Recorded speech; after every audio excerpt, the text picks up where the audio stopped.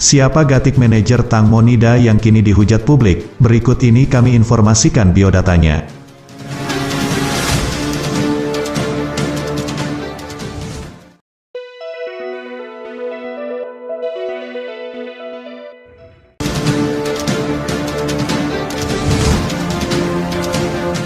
Hari Minggu tanggal 13 Maret tahun 2022 merupakan hari terakhir bagi penggemar keluarga dan teman dekat Tang Monida, memberikan penghormatan di Gereja Liberty di distrik Savan Sung di Bangkok. Hari itu pula rencananya jenazah Tang Monida akan langsung dimakamkan.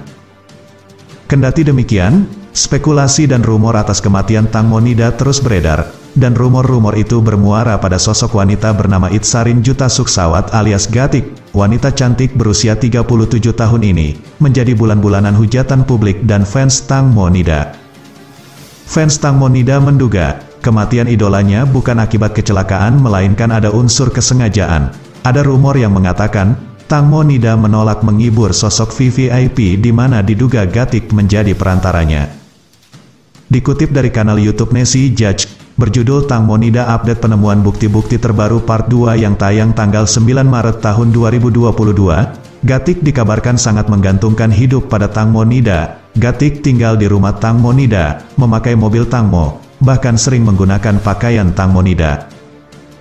Tak cuma itu, anak Gatik yang baru berusia lima tahun yakni Easter menjadi anak adopsi Tang Monida, Jalinan persahabatan antara Tang Monida dan Gatik sudah lebih dari 20 tahun, dan selama itu pula Gatik menjadi manajer Tang Monida.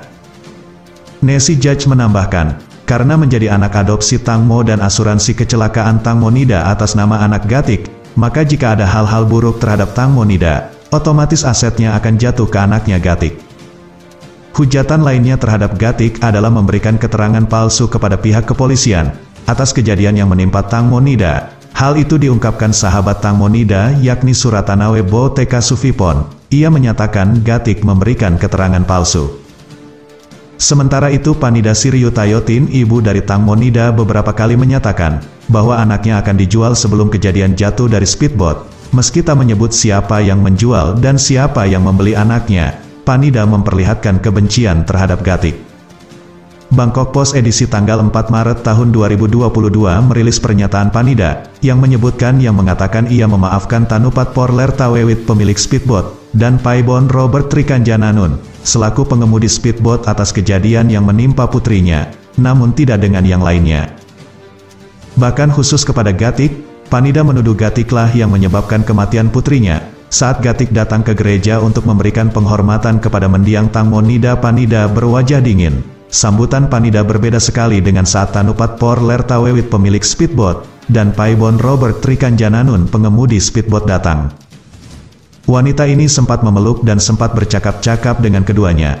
Lain halnya pada Gatik, Panida justru memberikan respon dingin. Lantas, siapa Gatik yang kini dihujat itu inilah biodatanya. Gatik memiliki nama lengkap Itsarin Juta Suksawat, nama populer Gatik atau Kratik, Gatik lahir tanggal 17 November tahun 1984. Umur Gatik sendiri saat ini 37 tahun dan ia memiliki seorang putri bernama Easter.